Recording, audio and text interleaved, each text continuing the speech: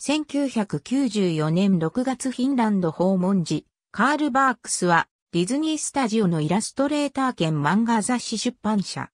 ドナルド・ダックらが住む町ダックバーグを思いついたり、スクルージ・マクダック、グラッドストーン・ギャンダー、ビーグル・ボーイズ、ジャイロ、ギアルース、フリントハート・グロムゴールド、EN、ジョン・リー・ロカーダックそして、マジカ・デスペルといったキャラクターを生み出した。脚本の展開や描き方などから、 The Duck Man や The Good Duck Artist というあだ名がついた。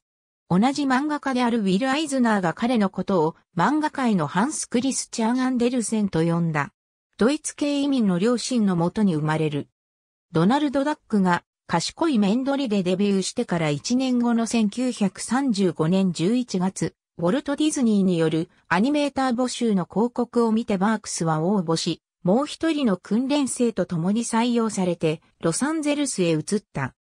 新人時代のバークスの給与は週20ドルで仕事内容はキャラクターの大事な場面における動きを担当する。アニメーターの下でチームを組み、コマ数を調節して一つ一つの動きを滑らかにしていくというものだった。その仕事をこなす傍ら、バークスはこういうカートゥーンのストーリーラインにギャグを挿入していき、1937年には少しずつストーリーを任されるようになった。その例に、ドナルドの博物館見学があり、バークスが担当したのは、リオイスマシンがドナルドの尻の毛をカットしてしまうところであった。ミッキーやグーフィーといったスターと共演したことのあったドナルドだったが、1937年からはドナルド主演のシリーズが作られるようになり、ドナルド主演作の制作を専任で担当する新たな脚本家、アニメーターのチームが組まれた。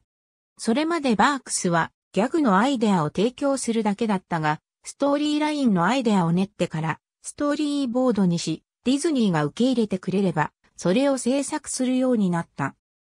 この際、しばしば、ジャック・ハンナと共同で行うことが多く、こうしてできた作品には、ドナルドのわんぱく教育、ドナルドのダンス教、ドナルドと山男、ドナルドの透明人間、食いしん坊がやってきた、ドナルドのプラスチック時代などがあった。ありがとうございます。